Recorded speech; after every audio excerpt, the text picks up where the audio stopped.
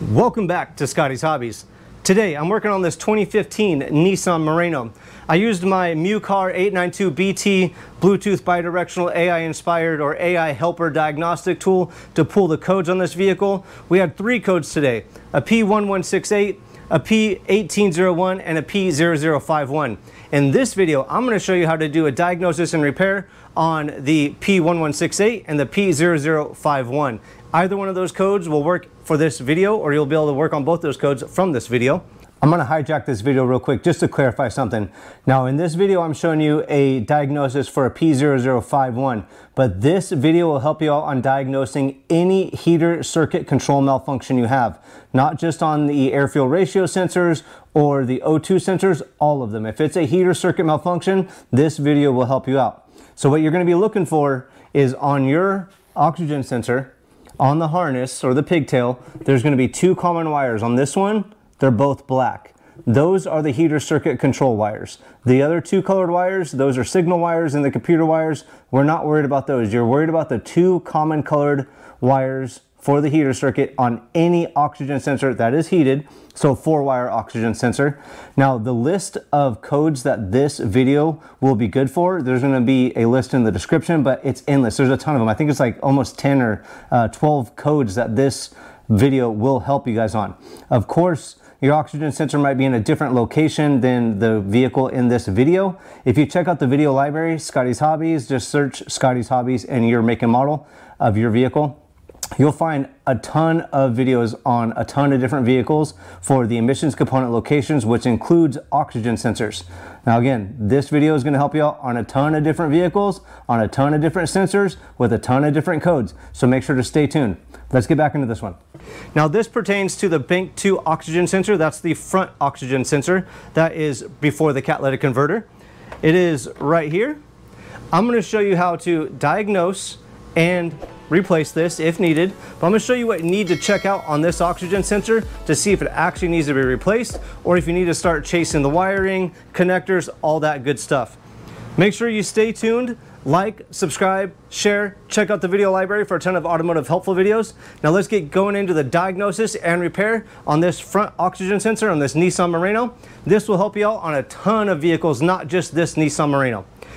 Here we go. Now we already have the intake snorkel that was right here. It's off, it's on the ground right there. Uh, that gives us access to this connector, which is right here.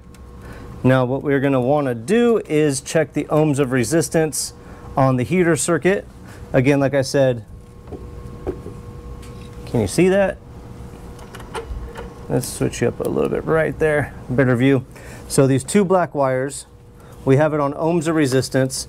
It's kind of hard. You have four pins. It's going to be on that far side, the two black wires.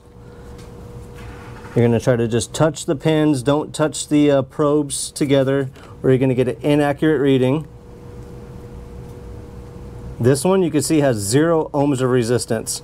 Now if I touch the pins together, you see how the meter changes, 0 0.3, 0 0.4. Again, touch just the pins inside the connector we're getting nothing. Now here's your new oxygen sensor. It's an NTK.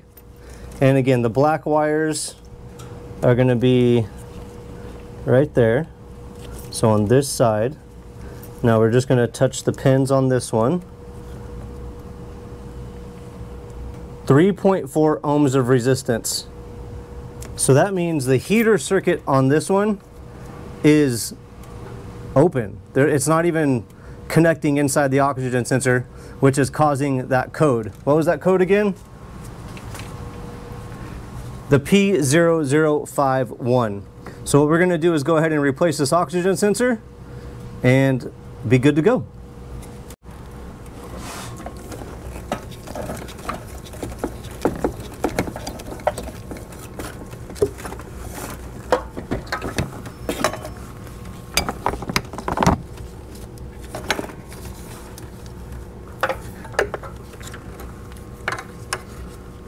There's our oxygen sensor.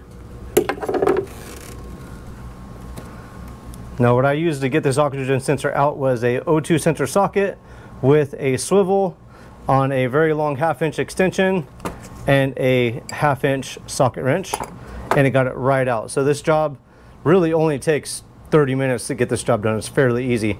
I'm gonna go ahead and install this new one. I might let this thing cool down for a little bit and we'll see what happens. It's a little hard to see what I'm doing, but I'm gonna start this by hand down there in the exhaust manifold. I'm impatient and it's really hot. I'd highly recommend waiting for this thing to cool down. Twisting the wire as I twist the sensor too. Ooh, super hot.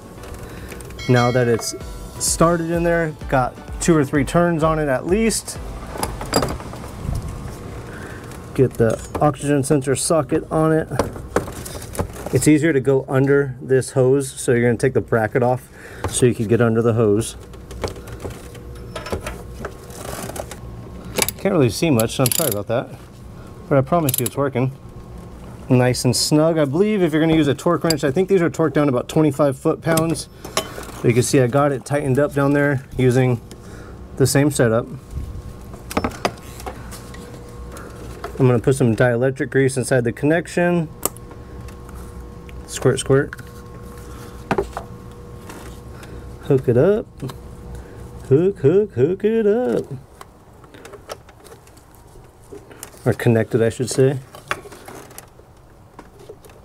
Be careful not to bend the prongs, make sure it goes in easy. Push until it clicks and you're all good. Put your wire into the little clip right there. Try to. Like so. And you're gonna be all good in the hood, all set really. We're gonna go ahead and put this screw back in the bracket.